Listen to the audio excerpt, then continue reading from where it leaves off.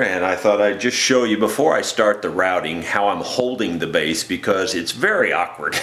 Uh, you know, there's really no flat surfaces on the thing. It's round everywhere. And so it's hard to hold something like that to where you can work on it. You can see I have a towel folded up right here and it's against my workbench.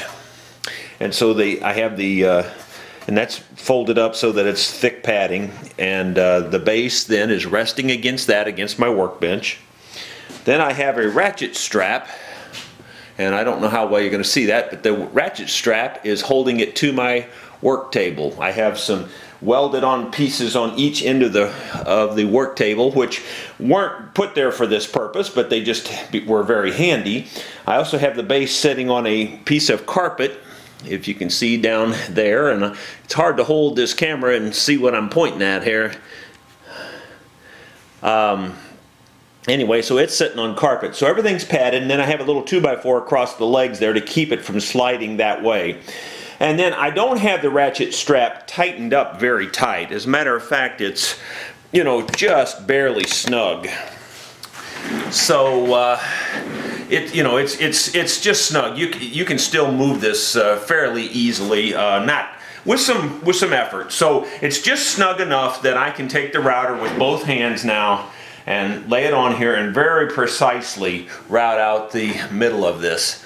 Um, I wanted to be able to use both hands with the router. I don't want to be trying to hold the bass and having it move around while I'm using the router. And uh, we'll give it a little shot on camera and just see how that goes. And you, of course, need to plug in your router first. That's a good idea. Sometimes they work better when they're plugged in. This router is a really stout router. When you turn it on, you better have a hold of it.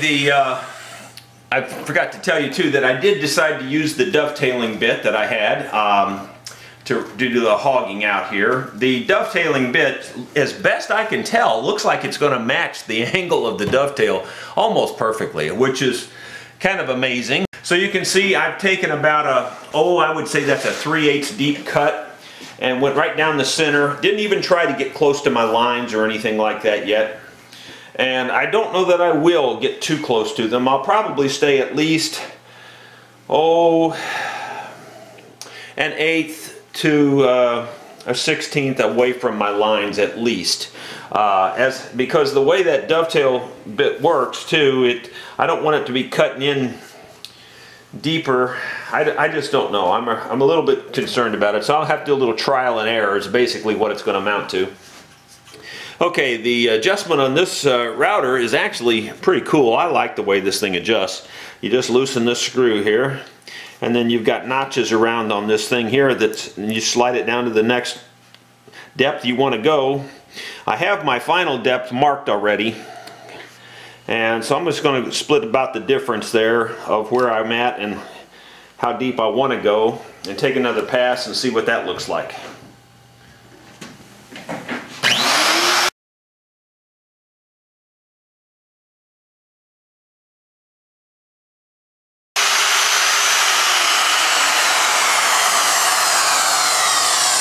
Okay, well you learn as you go, and what I learned there is that, and I knew this already, I just got ahead of myself, uh, is that the length of the cutter on the dovetail is not very long, so it's going to have to go in very shallow increments. So I'm going to have to come back up. I'm going to actually have to widen the hole out some at the height where I was already. And I don't remember exactly where that was, but I'll, as long as the bit's cutting wood all the way, it doesn't really matter. And so I've got the bit back up where it's going to be cutting wood the full depth of the bit that is exposed. And so I'm going to widen my area out a little bit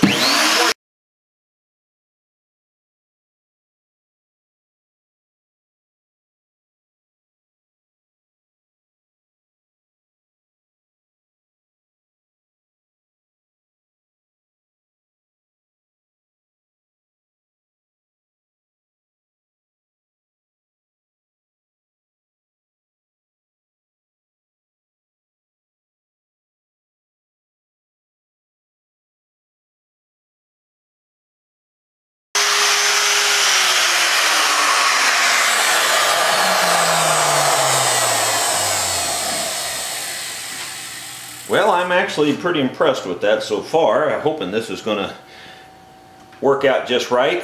Um, I'm staying away from the far end down there. Um, I think that's actually going to be a flush cut anyway based on the way it looks but uh, I'm staying away from that end because I know the dovetail cuts under so I'm staying away from there by at least a good quarter of an inch and because I don't want to cut through into the plywood and on here on the sides going down, I'm staying away from that by, oh, I don't know, 16th of an inch or something like that. And got to keep in mind that the lines are actually narrower, uh, slightly narrower than I want anyway. So I've got plenty of wood there. Uh, that did a pretty good job. You can kind of take a look at this here. If you can see it there. Trying to hold the camera is just not the best way to do this, but that's what I've got. So and uh, you can see where I did cut a little deeper that other cut and now I'll take this cut down to that depth okay now. well I've just taken one more pass. I'm nowhere near depth or width yet at all. I'm just uh, I've got that all at the same level now. And uh, I just wanted to check this as a test fit to see if the angles look good on the bit compared to the part. And they look really good. I'm amazed that I think the angle is almost perfect. So I'm going to be able to get this very close with the router. And uh, you can see that it's already starting to fit up.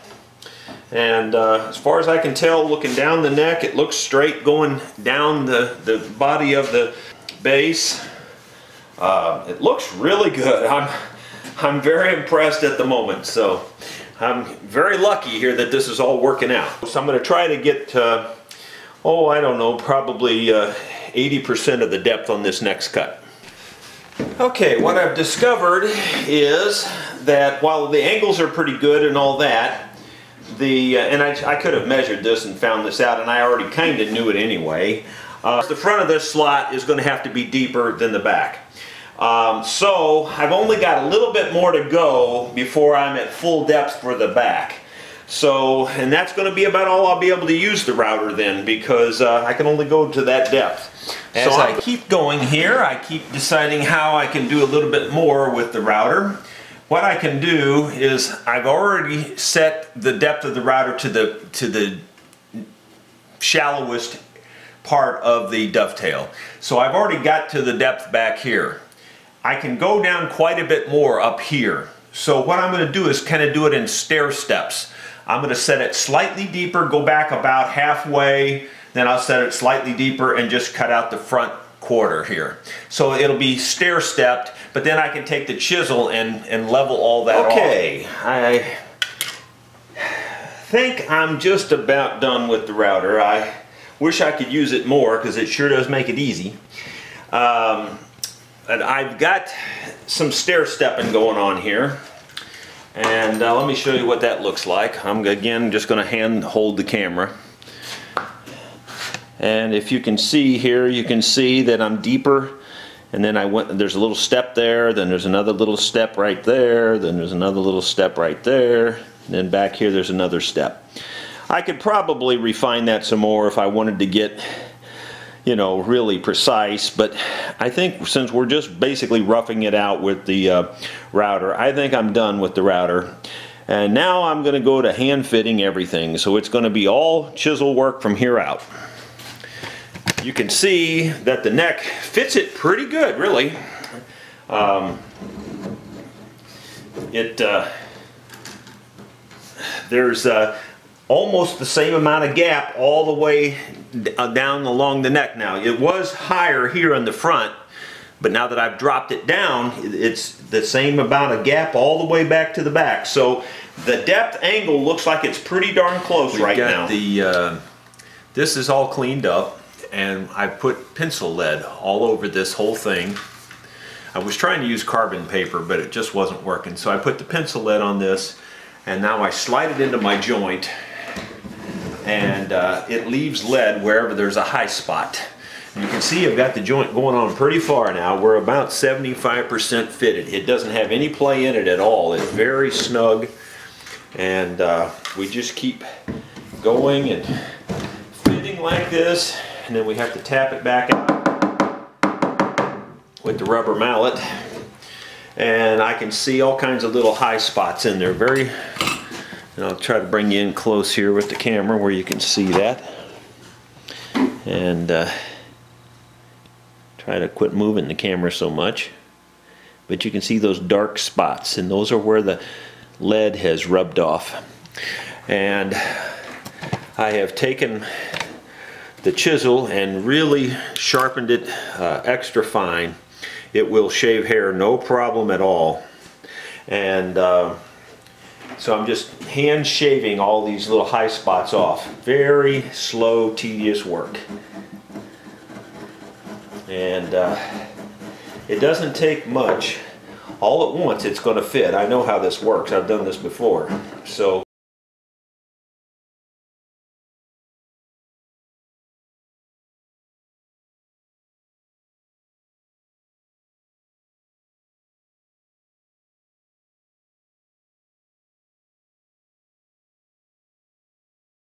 did to it as far as new marks and things. Yes, there's still a few showing up.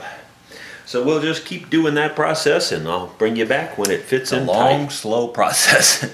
I have uh, got about a half inch to go, I would say. I will tell you that it is so tight, the joint is so tight that you cannot move it without moving the bass. There is no wiggle to it whatsoever in any direction. It is absolutely airtight. Um, the uh, matter of fact, when you drive it in there like that by hand, it gets so tight you cannot get it back out. So you do have to tap it back out with a rubber hammer each time. And uh, I'm still working off of the, all this uh, pencil lead that I put on here.